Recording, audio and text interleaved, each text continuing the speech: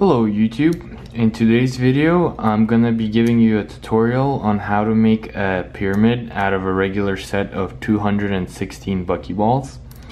So the first step is to make the very base of the pyramid and uh, what you want to do is get a strand going of uh, your buckyballs and what you're going to do is here's the first step take your um, strand, take uh, the strand and wrap it around one until you get a hexagon with a ball in the middle. And then you're going to wrap it around like this. Um, and as you can see here, you have two, three, four, three. And what you want is two, three, four, five, six, five. So you're gonna keep wrapping it around like that and once you get to this um, hexagon what you're going to do is put two on top like that two on the side and then two on this side. So you kind of get this triangle without the edges. And as you can see here goes two three four five six five. Um, uh, I'm just gonna add some more balls to my strand go. Okay, perfect. Okay, so next step is to uh, take your triangle and then connect the buckyballs uh, to the side of the edge and you want to put it down and then once you get to um, the corner of your triangle you're gonna put your nail right here and you're gonna count seven balls. So one two three four five six seven. And you're gonna take that seventh ball and you're gonna put it on the other side where this ball is. So it's gonna go like that. This is what it should look like. On this uh, corner you're gonna do exactly the same thing. So count seven. I have seven. Place it like that. Boom. But on this last one you're only going to count six because you already have one here so three, three, six, and here. Perfect. So you should have the, something that looks like that. Uh, you can put that aside. Uh, next, we're gonna be making something that's exactly the same, but one size smaller. It's gonna go two, three, four, five, four. So let's begin the process again. Make a pentagon with a ball in the middle like that. And here we go. Uh, it's a little too many, but here, so you, perfect. So you want to have two, three, four, five, four. And um, you're gonna wrap it around with the seven around the corners seven balls around the corners exactly the same way. So here we go. Put it next to the edge. Three, four, so you have seven, like that.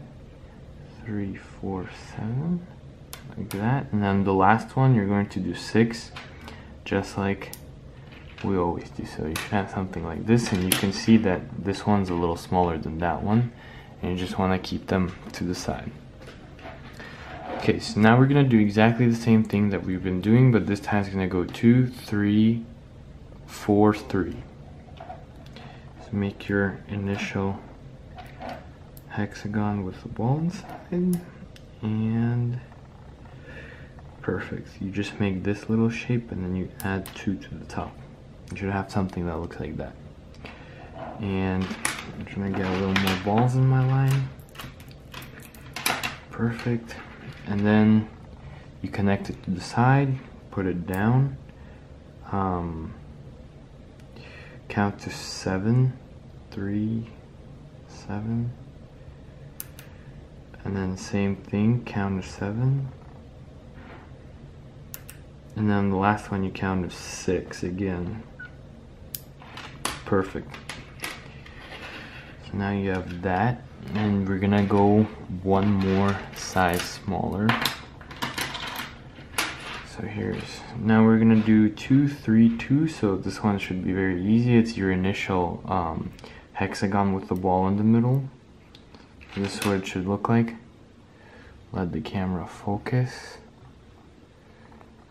uh, okay so two three two you can put that aside so now we're gonna start assembling the pyramid and the first step is to pinch uh, any corner so that it um, becomes a perfect vertice and then pinch a corner on your next biggest size. And you want to make sure that these go on top evenly. So what you do is uh, you want to feel that uh, this thing is repelling a little bit that means everything is perfect and then when it, the tip repels a little bit that means it's gonna go down perfectly. So you put that down like that and it should connect perfectly. Um, at this moment uh, the edges are not gonna be straight but in the end we'll fix that and it'll look perfect. Next you pinch a corner on your next size and you want it to again kind of uh, repel but in the end it should connect perfectly like that. Boom. So as you can see this is what it looks like. Uh, and I know that these look kind of ugly but we'll fix that. Uh, so the next step um, this is going to be a little bit different. What you're going to do is you're going to take your strand of buckyballs or zen magnets whatever. And you're gonna try to make um, perfect outline perimeter of the of the balls but um, one size smaller so that this piece can go perfectly in the middle. So you place it down and we're gonna go this way just like that you might have to remove a ball in the end but that's perfectly fine. Okay so here we go and this looks to be about right. You want to pinch this so that you can see? Yeah mine's perfect size. And then you take your um, pentagon with the ball in the middle and you want to place it so this middle ball right here connects to the two uh, two balls on the hexagon. And perfect. And you just drop that down. And that's what it looks like. Um, so next step uh, get your line going. And you want to do the same thing. You can pinch the edges to try and straighten them. Uh, but next you're going to do the same thing we did uh, again. We're to wrap it around the perimeter this way. Like that. Put one bolt there. One just like that. Okay, perfect. Uh, I just need to remove one from here. And perfect. Okay, so you can push this together a little bit so it's more even. What you're going to do now is take three, three balls like that, and you're gonna push them together into a little triangle. And this time you want uh, one of the balls of the triangle to go to the middle piece right here. So I'll show you up close. Hopefully it zooms in. Okay, perfect. Here's what it's gonna look like.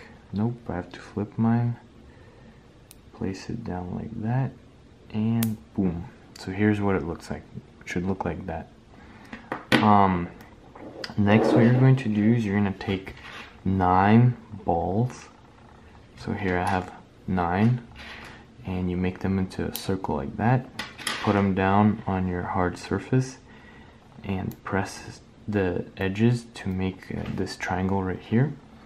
And you're gonna put it onto the top. And I have to flip mine over. Bloop. Didn't quite work as well as we hoped. That's okay.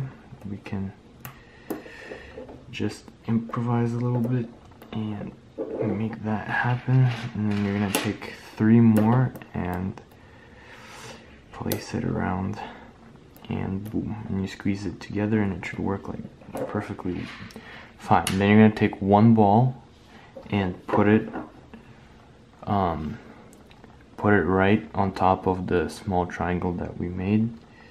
Bloop.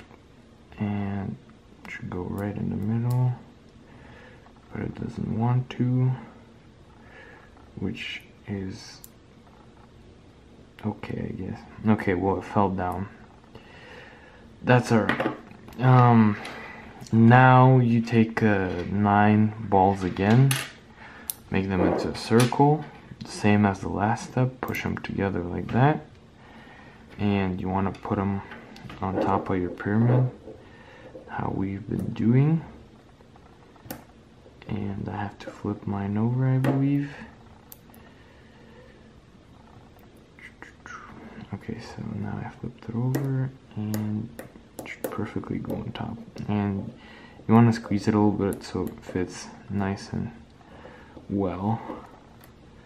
And then just kind of push the creases on your edges together like that so that it straightens out. And as you can see our pyramid is starting to take shapes in the end we can fill these holes.